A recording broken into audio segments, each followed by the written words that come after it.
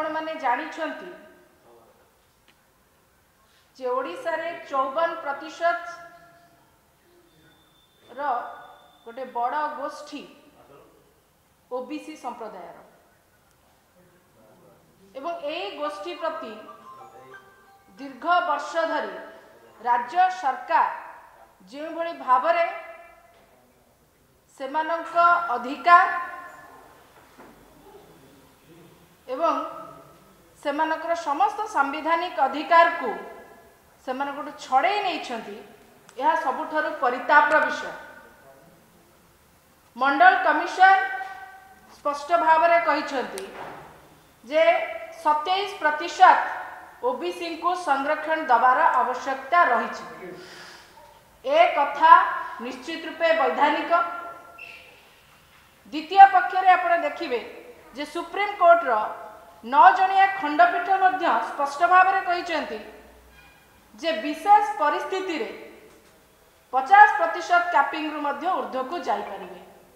ଦୁଇଟି ଯାକ କଥା ବୈଧାନିକ ହୋଇଥିବା ସତ୍ତ୍ୱେ ରାଜ୍ୟ ସରକାର କ'ଣ ପାଇଁ ଗୋଟେ ବଡ଼ ଗୋଷ୍ଠୀ ପ୍ରତି ଟାଲଟୁଲ ନୀତି ଅବଲମ୍ବନ କରୁଛନ୍ତି ଏବଂ ସେମାନଙ୍କର ସାମ୍ବିଧାନିକ ଅଧିକାରରୁ ସେମାନଙ୍କୁ ବଞ୍ଚିତ କରି ରଖିଛନ୍ତି ଏହା ସବୁଠୁ ବିଡ଼ମ୍ବନାର ବିଷୟ ବୋଲି ମୁଁ ଭାବୁଛି। ଦ୍ୱିତୀୟ ପକ୍ଷରେ କିଛି ଦିନ ତଳେ ଆପଣଙ୍କର ମନେ ଥିବ ଯେ ରାଜ୍ୟ ସରକାର ନିଜ ଦଳ ଭିତରେ ସତେଇଶ ପ୍ରତିଶତ ଏବଂ ପର- ପରବର୍ତ୍ତୀ ମୁହୂର୍ତ୍ତରେ ଚାଳିଶ ପ୍ରତିଶତ ସଂରକ୍ଷଣ ଦେବା ପାଇଁ ଘୋଷଣା ହାସ୍ୟାସ୍ପଦ ବୋଲି ମୁଁ କହିବି। ବାଇଶ ବର୍ଷ ନିରନ୍ତର ଭାବରେ ଶାସନ ଗାଦିରେ ରହିଲା ପରେ ମଧ୍ୟ ନବୀନ ବାବୁ ଆଜି ବି ଭାବୁଛନ୍ତି ସେ ବିଜୁ ଜନତା ଦଳର ସଭାପତି। ସଭାପତି ହିସାବରେ ଗୋଟିଏ ରାଜନୈତିକ ଦଳର ସଭାପତି ହିସାବରେ ଚାଳିଶ ପ୍ରତିଶତ କ'ଣ ଶହେ ପ୍ରତିଶତ ଯଦି ସଂରକ୍ଷଣ ଦିଅନ୍ତି ଆମର କୌଣସି ଆପତ୍ତି ନାହିଁ। କିନ୍ତୁ ରାଜ୍ୟର ମୁଖ୍ୟମନ୍ତ୍ରୀ ହିସାବରେ ଏକ ସାମ୍ବିଧାନିକ ପଦବୀରେ ରହିବା ସତ୍ତ୍ୱେ ଏହି ବର୍ଗଙ୍କ ପ୍ରତି ଯେଉଁ ଅଣଦେଖା କରାଯାଇଛି ଯେଉଁ ଷଡ଼ଯନ୍ତ୍ର କରାଯାଇଛି ଯେଉଁ କୁଚକ୍ରାନ୍ତ କରାଯାଇଛି ତାହା ନିଶ୍ଚିତ ରୂପେ ଅକ୍ଷମଣୀୟ ବୋଲି ମୁଁ କହିବି। ଏ ବାବଦରେ ଯେଉଁ ଛଳନା କରିଛନ୍ତି ବଡ଼ ବର୍ଗ ସହିତ ଯେଉଁ ପ୍ରତାରଣା କରିଛନ୍ତି ଗୋଟେ ନିର୍ଦ୍ଦିଷ୍ଟ ଗୋଷ୍ଠୀ ସହିତ ଡିଭାଇଡ୍ ଆଣ୍ଡ ରୁଲ୍ ପଲିସିରେ ଶାସନକୁ ଚଳାଇବା ପାଇଁ ଚେଷ୍ଟା କରୁଛନ୍ତି ଜାଣି ଶୁଣି ଓବିସିଙ୍କ ଭିତରେ ଫାଟ ସୃଷ୍ଟି କରିବାକୁ ଚାହୁଁଛନ୍ତି ନିଜର ରାଜନୈତିକ ଅଭିସନ୍ଧିକୁ ପୂରଣ କରିବା ପାଇଁ। ସେ ସମ୍ପର୍କରେ ବିସ୍ତୃତ ଭାବରେ ଆପଣଙ୍କ ପାଖରେ ରାଜ୍ୟ ଓବିସି ମୋର୍ଚ୍ଚାର ସଭାପତି ଶ୍ରୀ ସୁରତ ବିଶ୍ୱାଳ ମହୋଦୟ ଆପଣଙ୍କ ପାଖରେ ଏ ବାବଦରେ ବିସ୍ତୃତ ବିବରଣୀ ରଖିବେ। ମୁଁ ଅନୁରୋଧ କରୁଛି ଶ୍ରୀ ବିଶ୍ୱାଳଙ୍କୁ ଏ ବାବଦରେ ବିସ୍ତୃତ ବିବରଣୀ ରଖିବା ପାଇଁ।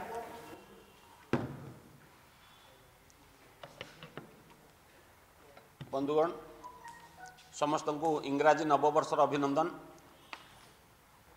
ସମସ୍ତ ରାଜ୍ୟବାସୀଙ୍କୁ ପ୍ରଭୁ ଜଗନ୍ନାଥ ସୁଖରେ ରଖନ୍ତୁ ସମସ୍ତଙ୍କର ସମୃଦ୍ଧି ହେଉ ଇଏ କାମନା କରୁଛି। ବିଶେଷ କରି ପଛୁଆ ଦଳିତ ଚାଷୀ ଗରିବ ଏ ଶ୍ରେଣୀର ଏ ଶ୍ରେଣୀକୁ ନ୍ୟାୟ ମିଳୁ ଉଚିତ ନ୍ୟାୟ ମିଳୁ ଏ କଥା ମଧ୍ୟ କାମନା କରୁଛି। ବନ୍ଧୁଗଣ ଯେଉଁ ପ୍ରସଙ୍ଗରେ ଏବେ ରାଜ୍ୟରେ ଯାହା ଚର୍ଚ୍ଚିତ ବିଷୟ ହେଇଛି ମୁଁ ସେ ସମ୍ପର୍କରେ କିଛି ନିର୍ଦ୍ଦିଷ୍ଟ ତଥ୍ୟ ଆଜି ଆପଣଙ୍କୁ ଆମର ପରବର୍ତ୍ତୀ ପଦକ୍ଷେପ ସମ୍ପର୍କରେ ଜଣାଇବା ପାଇଁ ଆଜି ଆମର ଏ ସାମ୍ବାଦିକ ସମ୍ମିଳନୀ। ପଛୁଆ ବର୍ଗଙ୍କୁ ପଛୁକୁ ଠେଲୁଛନ୍ତି ରାଜ୍ୟ ସରକାର। ପଛୁଆ ବର୍ଗଙ୍କୁ ପଛୁକୁ ଠେଲୁଛନ୍ତି ରାଜ୍ୟ ସରକାର। ଜାଣି ଜାଣି ଷଡ଼ଯନ୍ତ୍ରପୂର୍ଣ୍ଣ ବ୍ୟବହାର କରୁଛନ୍ତି ପଛୁଆ ବର୍ଗଙ୍କ ପ୍ରତି। ଯୋଜନାବଦ୍ଧ ଭାବରେ ତାଙ୍କୁ ତାଙ୍କ ସାମ୍ବିଧାନିକ ଅଧିକାରରୁ ବଞ୍ଚିତ କରୁଛନ୍ତି ରାଜ୍ୟ ସରକାର। କାହିଁକି? ଗୋଟେ ସଂଖ୍ୟାଧିକ ଜାତିବର୍ଗର ଲୋକଙ୍କ ସାମ୍ବିଧାନିକ ଅଧିକାର ଦେବା ପାଇଁ ଏତେ କୁଣ୍ଠିତ ରାଜ୍ୟ ସରକାର। କାହିଁକି ଏତେ ଅସୂୟା ମନୋଭାବ? କାହିଁକି ଏଭଳି ବୈମାତୃକ ମନୋଭାବ? ଏ ସମ୍ପର୍କରେ ବାରମ୍ବାର ପ୍ରଶ୍ନ ପଚାରିଲା ପରେ ବି ରାଜ୍ୟ ସରକାରଙ୍କ ତରଫରୁ କୌଣସି ଉତ୍ତର ଏପର୍ଯ୍ୟନ୍ତ ମିଳିନାହିଁ। ବରଂ ବ୍ୟଗ୍ରତା ପ୍ରକାଶ ପାଉଛି ଗଣତନ୍ତ୍ର ନାଁରେ ଆମେ ଚାହୁଁଛୁ ନିର୍ବାଚନ ହେଇଯାଉ ଏମାନେ ଚାହୁଁନାହାନ୍ତି ବୋଲି ଏଭଳି ଏକ କଥା ଗୁଞ୍ଜରଣ ସୃଷ୍ଟି କରିବାକୁ ଚେଷ୍ଟା କରୁଛନ୍ତି ଯେତିକି ପ୍ରଶ୍ନ ପର- ପଚରା ଯାଇଛି ତା ଉତ୍ତର ଏପର୍ଯ୍ୟନ୍ତ ଦେଉନାହାନ୍ତି ଯେବେ ଯେବେ ତାଙ୍କ ଉପରେ କିଛି ନିର୍ଦ୍ଦିଷ୍ଟ ଆକ୍ଷେପ ଆସେ ନିର୍ଦ୍ଦିଷ୍ଟ ପ୍ରଶ୍ନ ଆସେ ଏଇଭଳି ଆଳ ଦେଖେଇ ଫସିବାକୁ ଚେଷ୍ଟା କରନ୍ତି ରାଜ୍ୟ ସରକାର ତାଙ୍କର ସାମ୍ବିଧାନିକ ଦାୟିତ୍ୱ ନିର୍ବାହ କରନ୍ତି ନାହିଁ ବିଶେଷ ଦର୍ଜା ଆମକୁ ଦିଅ ଆମେ ଗୋଟେ ସ୍ପେଶାଲ କାଟେଗୋରୀ ଷ୍ଟେଟ୍ ବାରମ୍ବାର କହୁଥିବା ରାଜ୍ୟ ସରକାର।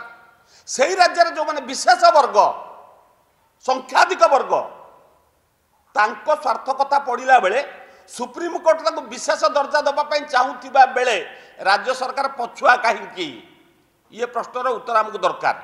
ଇଏ ସବୁ କଥା ପ୍ରମାଣିତ କରୁଛି ଯେ ରାଜ୍ୟ ସରକାର ଜାଣି ଜାଣିକିରି ସେମାନଙ୍କ ସାମ୍ବିଧାନିକ ଅଧିକାର ଆଙ୍କ ପାଇଁ ଗୁରୁତ୍ୱପୂର୍ଣ୍ଣ ନୁହେଁ ଆଙ୍କ ପାଇଁ କେବଳ ନିର୍ବାଚନ ହେବାଟା ହେଉଛି ଗୁରୁତ୍ୱପୂର୍ଣ୍ଣ ବୋଲି କହୁଛନ୍ତି। ଚାହିଁଥିଲେ କହିଥାନ୍ତେ କୋର୍ଟରେ ଆମକୁ ଦୁଇ ମାସ ସମୟ ଦିଅ ଆମେ ତଥ୍ୟ ଉପରେ କହିବୁ କେତେ ପ୍ରତିଶତ ଆଙ୍କୁ ସଂରକ୍ଷଣ ଦରକାର। ଯେଉଁଟା ଟ୍ରିପୁଲ ଟେଷ୍ଟର ସେକେଣ୍ଡ ଏଇଟା କହିପାରିଥାନ୍ତେ କହିଲେ ନାହିଁ। କୋର୍ଟ କିଛି କହିବା ପୂର୍ବରୁ ଇଏ ଆଗୁଆ କହିଦେଲେ ସୁପ୍ରିମକୋର୍ଟ ଏହା କହିଛି ଆମକୁ ଆମଟା ଫେରେଇ ଦିଅ। ଏଇ ଏଇ ହେଉଛି ସ୍ଥିତି। ଅର୍ଥ ଯାହାଙ୍କର ଦାୟିତ୍ୱ ଓକିଲାତି କରିବା କଥା ସେ ଏକପାଖିଆ ନିଷ୍ପତ୍ତି ନେଲେ ଏଇ ପଛୁଆ ବର୍ଗଙ୍କୁ ଉପେକ୍ଷା କରିବା ପାଇଁ। ଆଗରୁ ଶିକ୍ଷାରେ ତ ଆଦୌ ସଂରକ୍ଷଣ ଦଉନଥିଲେ।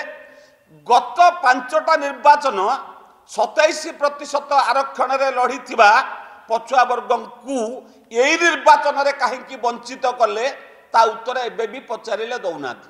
ପ୍ରଶ୍ନ ଉଠୁଛି ଲୋକଙ୍କ ଭିତରେ ଆମେ ପାଉଥିଲୁ ଆମେ କାହିଁକି ବଞ୍ଚିତ ହେଲୁ? ଏଥିପାଇଁ ଦାୟୀ କିଏ? ଅନ୍ୟ କେହି ନୁହନ୍ତି। ରାଜ୍ୟ ସରକାର। ଏଇ କଥା କେବଳ ଭାରତୀୟ ଜନତା ପାର୍ଟି କହୁଛି ଏମିତି ନୁହେଁ। ମୟୂରଭଞ୍ଜ କେଉଁଝର କଳାହାଣ୍ଡି ବରଗଡ଼ ସବୁଆଡ଼େ ବର୍ତ୍ତମାନ ସ୍ୱତନ୍ତ୍ର ଭାବରେ ଇଣ୍ଡିପେଣ୍ଡେଣ୍ଟଲି ଜାତିବର୍ଗ ସଂଗଠନ ମାନେ ପ୍ରତିବାଦ କଲେଣି ଆପଣଙ୍କ ଦୃଷ୍ଟିକି ଆସିଛି ଗଣମାଧ୍ୟମରେ ପରିପ୍ରକାଶ ବି ହେଇଛି। ସବୁ ଜାତିବର୍ଗ ତାଙ୍କର ସେ ଆନ୍ଦୋଳନ କରୁଛନ୍ତି ଦାବି କରୁଛନ୍ତି।